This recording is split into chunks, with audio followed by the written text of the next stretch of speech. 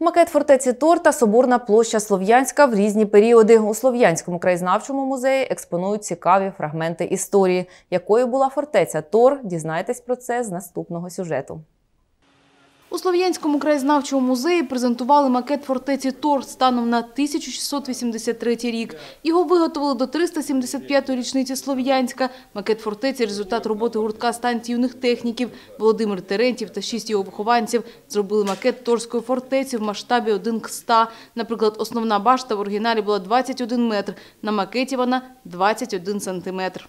Это первая историческая такая работа, макет э, первой крепости. Ее делали 50 э, чугуевских, с Чугуева прислали 50 э, бойцов, который там полк был, вот, Чугуевский, и э, 150 э, э, черкасы. 200 человек делали эту, эту крепость. Крепость Тор, ее и сжигали, вот эту, и снова восстанавливали. Вот. эм. Она находится э, в районе, вот если брать нашу э, церковь э, на курорте, да, вот, и смотреть от ее как бы с севера на юг, вот, недалеко через дорогу, там находилась эта крепость. Створюючи макет фортеці, орієнтувалися на музейні матеріали та малюнок Марини Юрієвої, яка вивчала документи та зобразила фортецю так, як вона виглядала. Загалом це дві башти, склади для зброї, казарма, місце для коней та огородження навколо будівель. Высота вот этого забора 3 метра 70 сантиметров. Вот. Бревна, это дубовые, с маяцкого лесничества брались, ну тогда с маяк, как называлось, брали.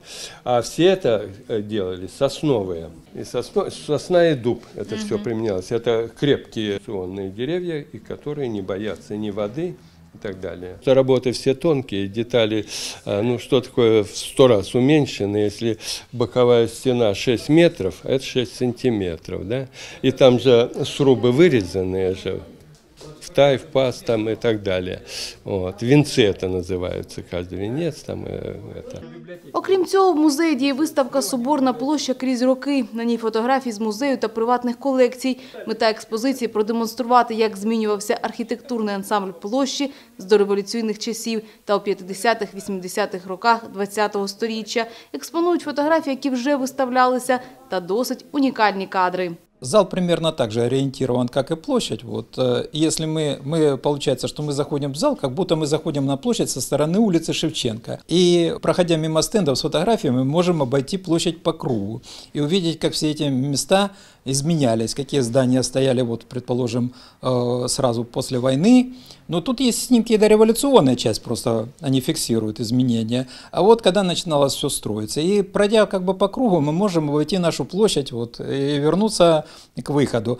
Олександр Плахов каже, ця виставка буде цікава тим, хто добре пам'ятає знакові місця Слов'янська і тим, хто їх взагалі не бачив. Тож поспішайте до музею. Виставка ще працює.